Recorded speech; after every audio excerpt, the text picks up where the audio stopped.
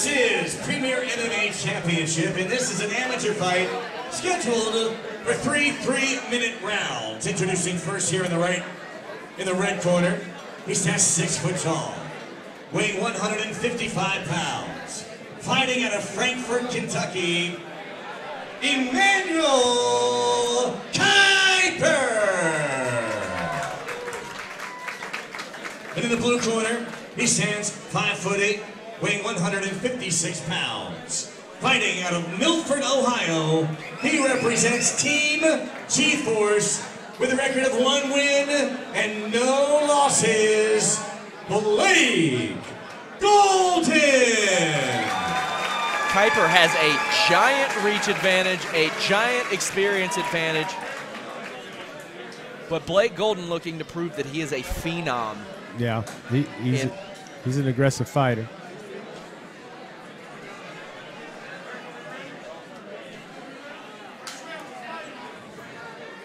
Making a statement against a much more experienced Kiper is is definitely a feather that he would like to put in his cap. Absolutely, absolutely.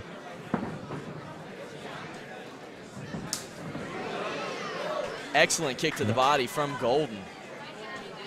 Now Kiper's got his hands low. Didn't seem like he liked that too much. Trying to maintain the center of the cage, that's always smart. Maximize your room in the cage.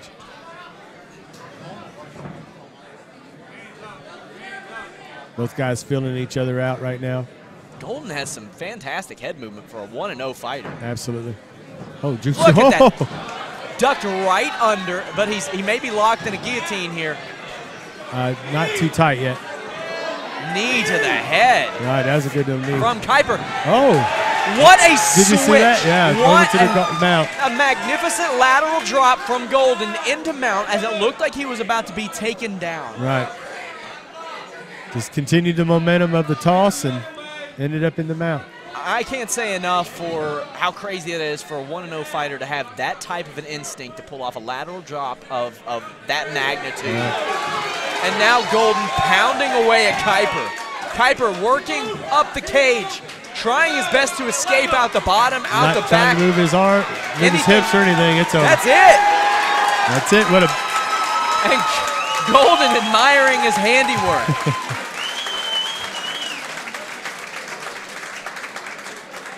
it took Golden just a little bit longer to get this done than, than he did last month, but under a round of Absolutely. experience, and he's already 2 0.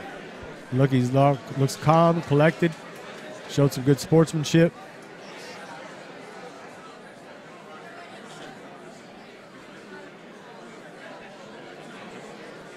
Doc's checking him out. Kiper still on the ground. Looks like he has his wits about him.